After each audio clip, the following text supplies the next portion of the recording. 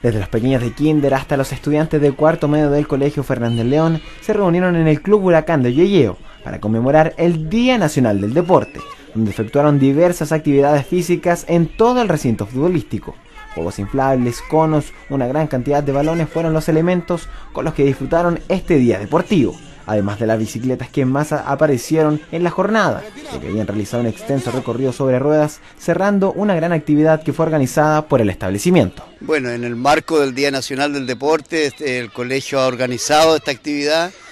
junto a la Prefectura de Disciplina, nuestros profesores de Educación Física, todos los profesores del colegio están por ahí, todos con sus cursos, disfrutando de este día, eh, acogiendo también las indicaciones que, vienen de nuestra autoridad del Ministerio y, para que los niños tengan un día de recreación también, que es bueno. O sea, hoy día cuando a veces se vive tanta tensión en la sociedad, es bueno que los niños practiquen deporte, se disfruten de él, estén contentos, estén alegres. Un buen número de dinámicas que cada generación disfrutó y realizó para pasar un buen momento, pero también para hacer una actividad física que hace muy bien para el organismo. Por esto, una de sus organizadores, Elizabeth Fuentealba, profesora de educación física del establecimiento, se mostró muy contenta por el espacio que realizaron en sus actividades y la importancia que le dan al deporte que es vital y es sinónimo de salud. Hemos querido motivar a la comunidad educativa, tanto a los niños como a los profesores, para que nos acompañen en esto. La verdad que tiene un carácter netamente recreativo,